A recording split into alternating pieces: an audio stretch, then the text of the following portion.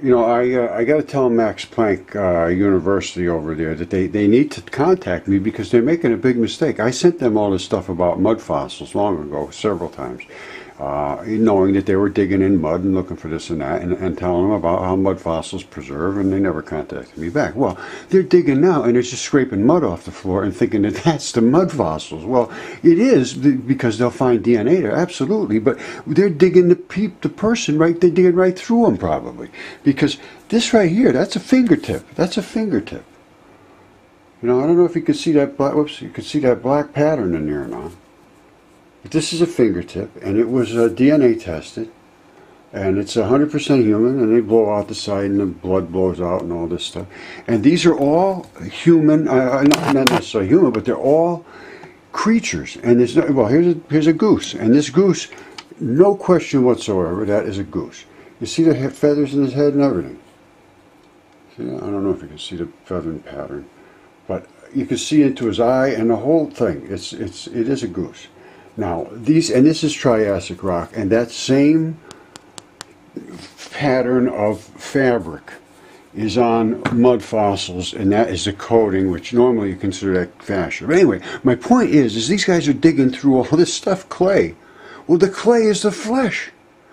They could be just digging the, the person right out of there and going right through them because I saw that happen and on a show and I'm screaming they, they, they, they're saying yeah you gotta get all that red clay out of there. And I'm going it's the guy's body it's the guy's body. But you know they just kept digging out and they found this brown old nasty bone that was still in there but it was really just destroyed. You see this is what happens to them they that's not dirt inside see that? That's a, that, that's where the tendon is. The tendon broke off right here. You see that? And you see the black is uh is uh, ferrous oxide blood. It's blood that's turned black. So there's a there's an arterial side and a, and a vein side in all of these things. So that's the case. And if they look, here's here, let me show you this. This is a lung. All right. Let me just say they're going to dig that out. and They're going to throw it away as a rock. Well, let's go look at this in a microscope. All right, this is a lung. Now buckle up tight because as I move, it's going to be all over the place. Now you see the reddish looking stuff? Now I'm going to move over towards the blackish looking stuff which is in the lung it goes from from red to black because it's being oxygenated. Now that is absolutely no question whatsoever tissue.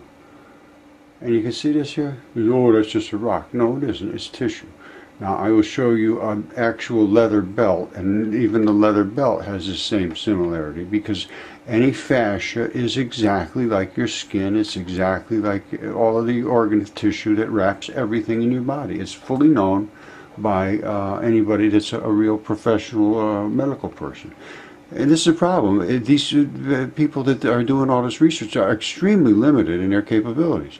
They don't know how to how to address these things because they don't understand what they're looking at.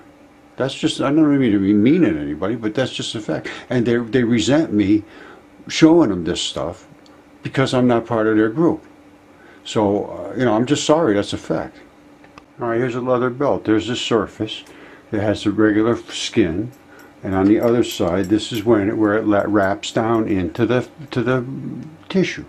And that is exactly what I find in all my mud fossils. So there's no, they are, they're, they're, they are what they are, and they're just avoiding the fact because it embarrasses them. That's just a fact. And the students are being severely damaged for this. They're licensing their futures to, to, to be told what's real, and the people that, that want to be the ones that are telling them don't care what's real. I, I don't think it's right. Alright, this is my website. It's mudfossils.com. It's been there for years, five years or so. The um, DNA test is are here. There's three DNA tests. Alright, and they were done on um, ancient testing protocols they use um, gene clean, ancient DNA extraction kits and so forth. It took months to do this. This was no 15 minute test and they're not, not cheap either. So there was three of them done, a 36 inch tip, which was a fingertip, uh, a lung, and a mud fossil tip. All three of them tested human, 100% human. And all the negative controls came out negative. And so you want to go look this up, look it up. Eaton Biolabs did the final, um, uh, whatever they do to seek, you know, the uh, database matches and so forth. This was done by Helix Biolabs.